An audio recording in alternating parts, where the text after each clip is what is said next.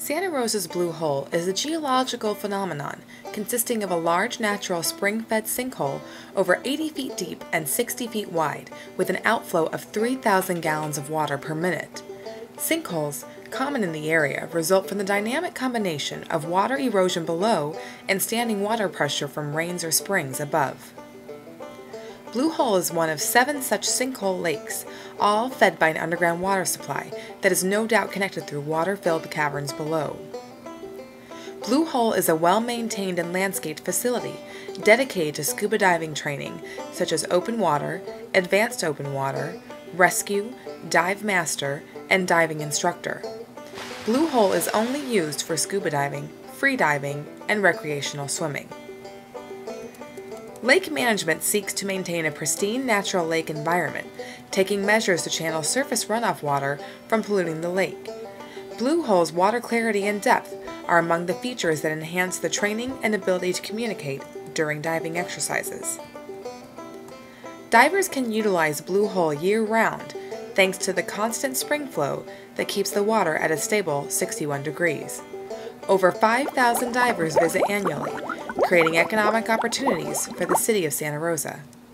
The DPAC plan addressed this, envisioning a facility that could be utilized by divers, conference users, and local Santa Rosans simultaneously.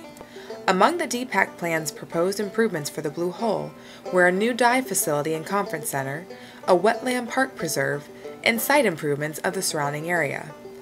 The design promotes both local and tourist visitation, protection of important natural resources, and the increase of local profits through diver permit fees, training, and recreation. The City of Santa Rosa used lodgers tax funds to aid in funding the construction of the Blue Hole Dive and Conference Center.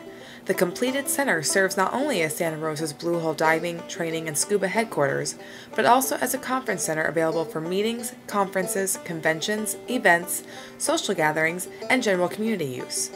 The facility contains several meeting and conference areas, a large exhibit hall, and a commercial kitchen.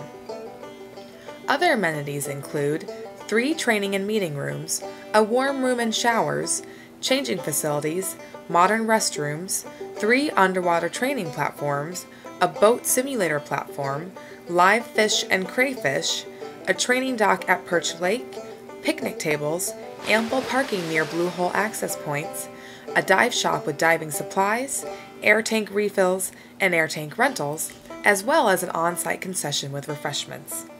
For more information on the Blue Hole Diving and Conference Center, contact the Santa Rosa Visitor Center at 575 472 3763.